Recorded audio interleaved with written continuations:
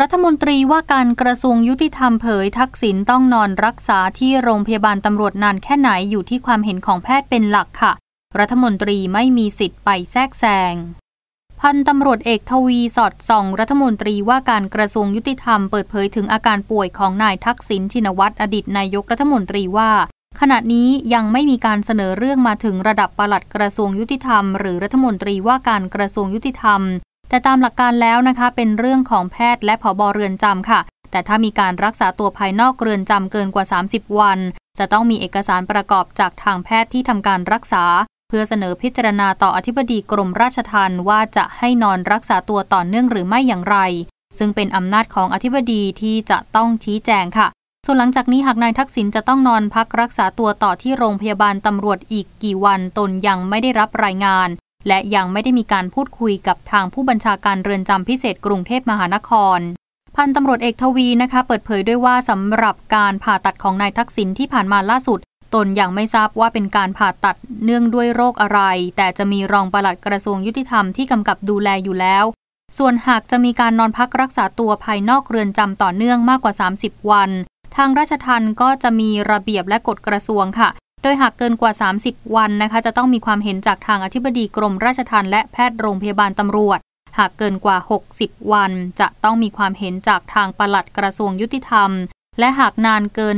120 วัน จะต้องมีความเห็นจากรัฐมนตรีว่าการกระทรวงยุติธรรมค่ะ แต่เนื้อสิ่งอื่นใดค่ะสำหรับเรื่องของการรักษาพยาบาล เราคำนึงถึงสิทธิมนุษยชน และให้ความสำคัญต่อความเห็นแพทย์ หากแพทย์มีความเห็นคำสั่งอย่างไรผอบอเรือนจำก็ไม่สามารถก้าวไก่ได้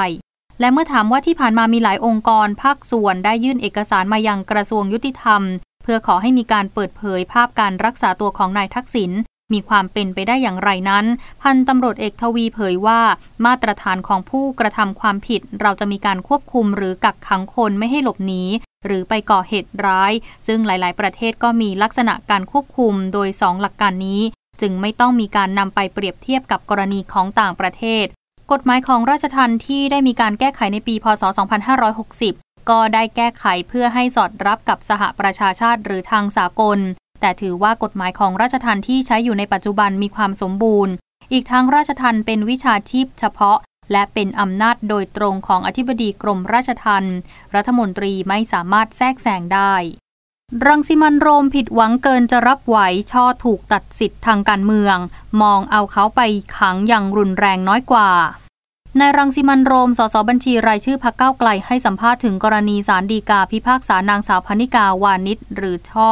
ถอนสิทธิ์ รับสมัครเลือกตั้ง และไม่มีสิทธิ์ดำรงตำแหน่งทางการเมืองตลอดชีวิตว่า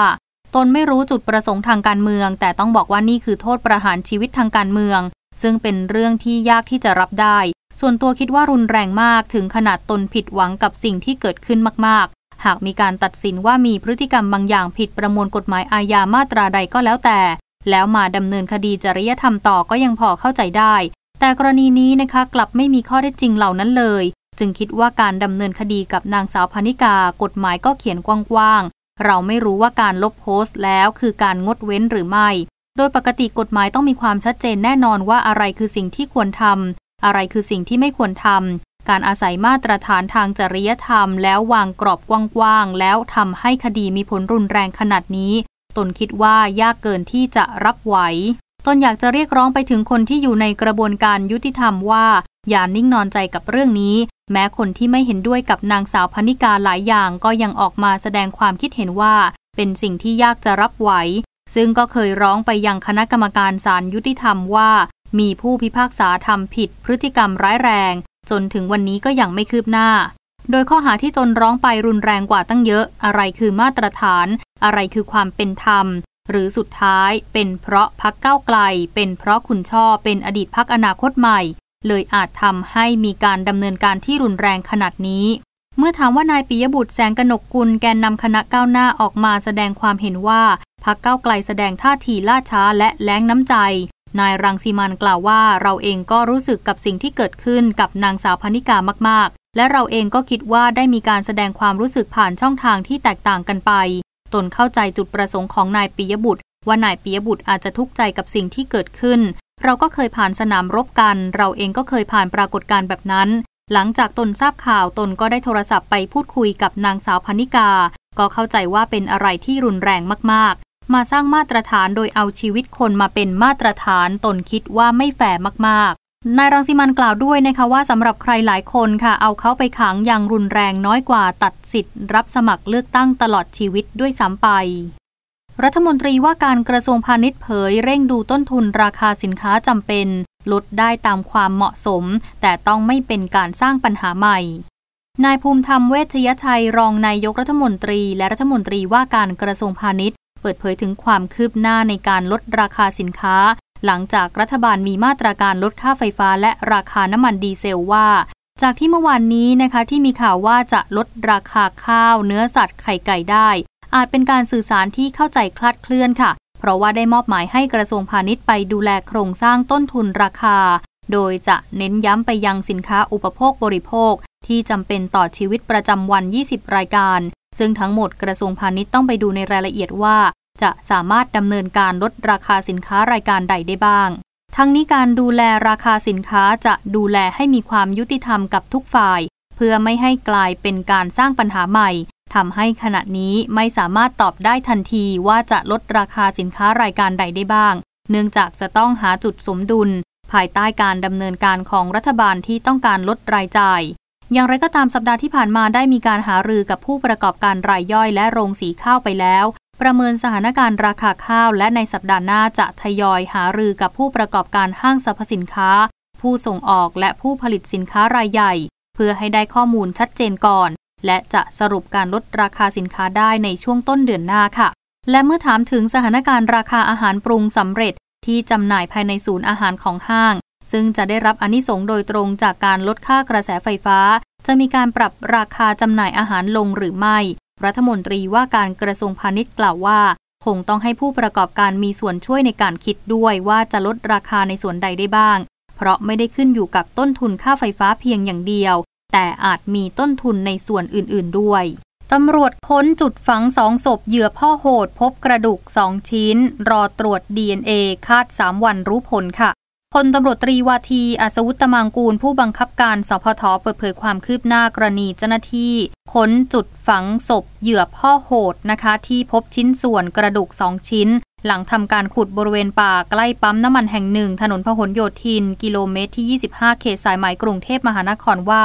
หลังขุดพบกระดูกสองชิ้นได้นำส่งตรวจสอบให้กับแพทย์โรงพยาบาลภูมิพล เบื้องต้นพบว่าเป็นกระดูกของมนุษย์จริงค่ะ แต่ยังไม่สามารถยืนยันได้ว่าเป็นกระดูกของเด็กหรือผู้ใหญ่ โดยเมื่อช่วงเช้าที่ผ่านมานะคะ ทีมแพทย์โรงพยาบาลภูมิพล จึงได้นำชิ้นส่วนกระดูกดังกล่าวทั้งสองชิ้น ส่งต่อให้กับแพทย์นิติเวชโรงพยาบาลตำรวจพิสูจน์ DNA